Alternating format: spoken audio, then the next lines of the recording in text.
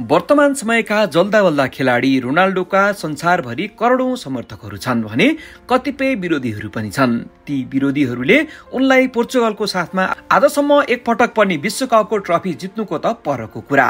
Final चरणसम्म पनि पुग्न नसक्ने अनि स्वार्थी रिसालु साथै पेनाल्टी पायो भने मात्रै गोल गर्ने खेलाडी भनेर समेत खिसिट्युरी गर्छन्।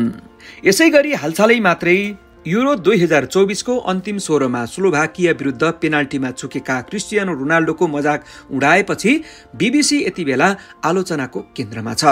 रोनाल्डोको समर्थकले बिबिसी स्पोर्ट्सको सामाजिक सञ्जाललाई रिपोर्ट र अनफलो गर्ने अभियान नै चलाएका छन्।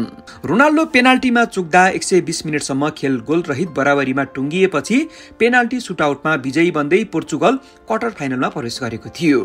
अल नासरका स्टारको पेनाल्टी जोन ओब्लाकले रोकेका थिए। त्यसको केही मिनटपछि उनी मैदानमा नै रुन पुगेका थिए। बिबिसीले पछि पेनाल्टीको रिभ्यू गर्दा त्यसलाई मिस्टियानो पेनाल्डो शीर्षक दिएको थियो।